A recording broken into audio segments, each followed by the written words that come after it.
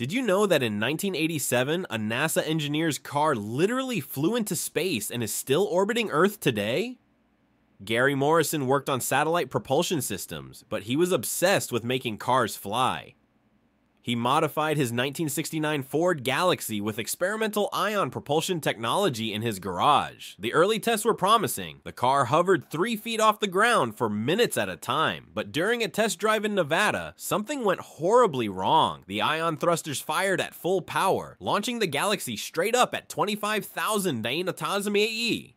Morrison's final radio transmission was pure terror as he watched Earth shrink below him. He screamed about the car spinning out of control, about running out of air. His voice grew weaker as oxygen ran out. The transmission ended with silence. 37 years later, astronomers still spot the galaxy through telescopes, a glinting speck in orbit. Morrison's body is still strapped inside, mummified in the driver's seat.